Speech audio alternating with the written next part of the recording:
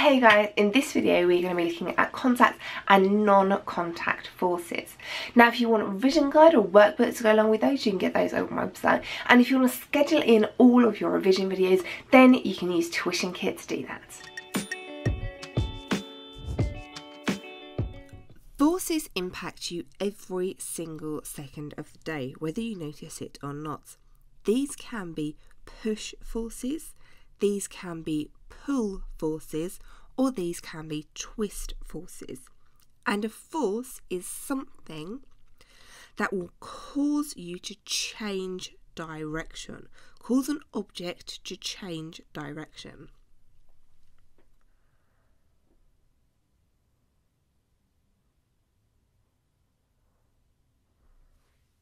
Forces come in two different types. These can be contact forces or these can be non contact forces.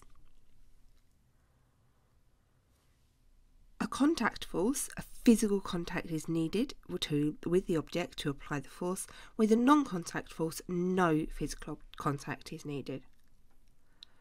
Examples of contact force could be air resistance or friction. Examples of non contact force could be magnetic or gravity.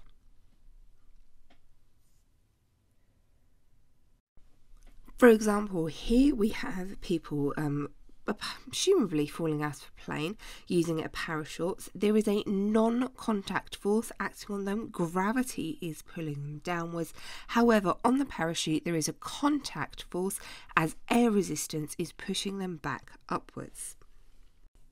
However, when they land on the ground, they will very, very painfully feel the contact force of the ground we can see here with these magnets that I do not have to actually touch the second magnet to make it move. This is a non-contact force which is causing an object to move and change direction.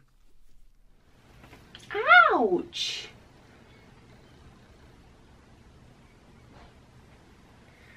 This is why in some videos I have explained scratches.